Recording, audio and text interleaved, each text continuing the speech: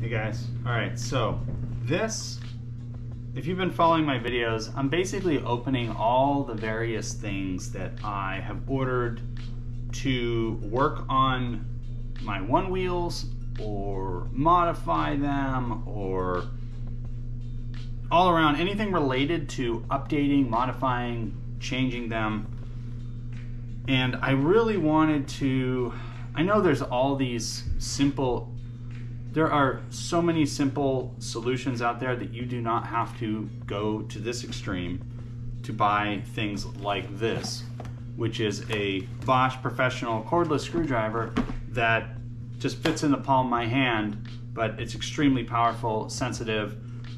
It also has a unique detection system for slippage so that you do not strip screws. This is I've actually never owned one of these. I'm about to open it up and I'm about to look at it with you for the first time.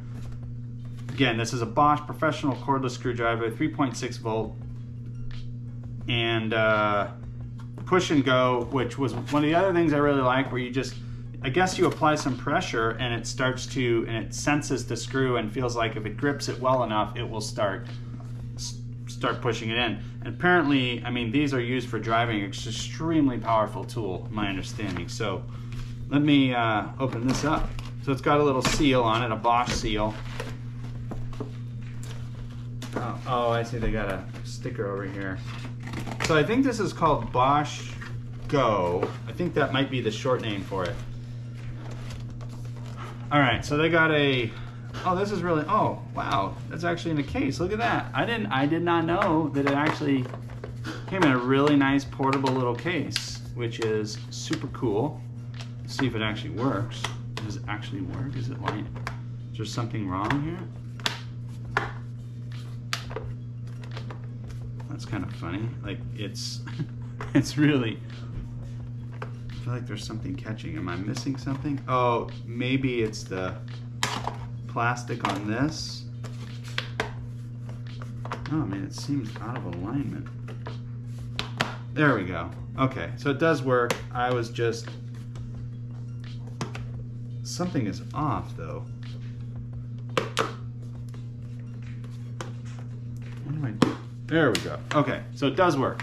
Just a little getting familiar with how this case goes, but that's pretty cool. So it's got a little carry case not that you would necessarily need that though. I mean, the whole point is the whole point for me was that it's just so compact. Look at that. And again, I've never I've never held one of these. I've never seen one in person.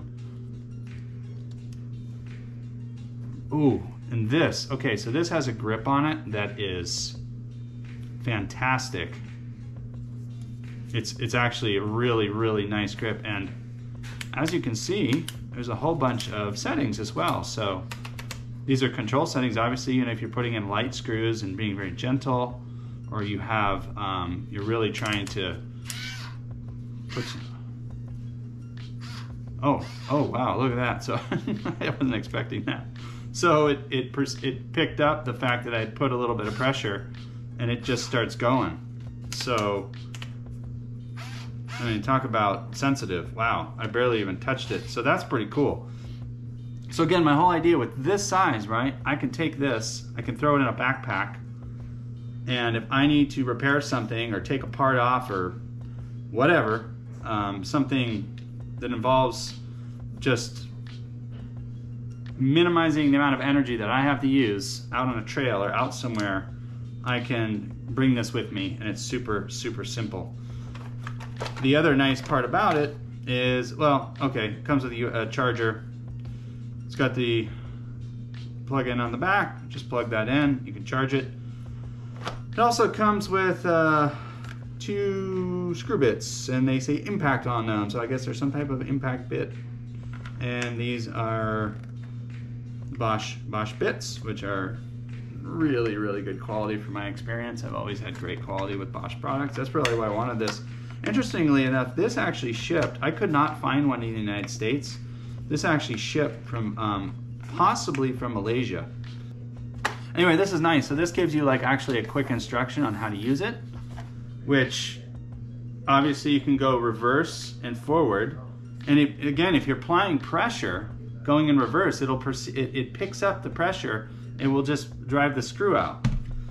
And um,